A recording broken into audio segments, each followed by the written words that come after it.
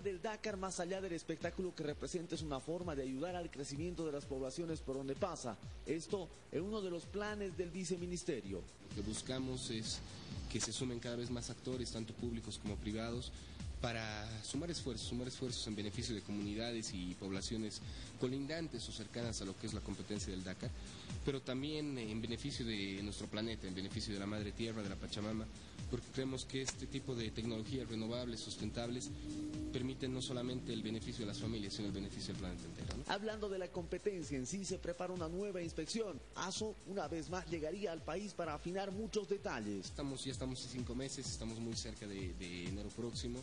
En septiembre, en los primeros días de septiembre, tendremos la visita de la gente de la ASO otra vez, ya para entrar en lo fino, ¿no? Eh, hilando fino en términos de seguridad, en términos de ruta y competencia.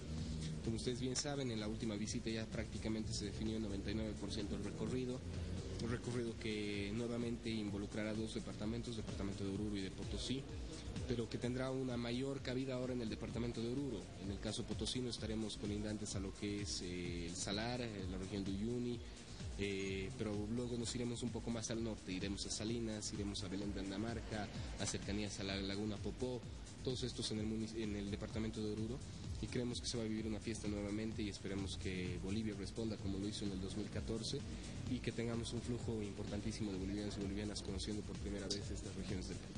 Y algo que inspiró al espíritu de aventura del Dakar, el paso por el Salar de Uyuni.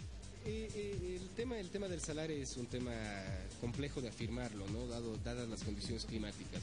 Definitivamente por parte de la organización y nosotros como Estado sí tenemos la intención de que, de que la competencia pueda, pueda cubrir y pueda surcar este, nuestro salar hermoso.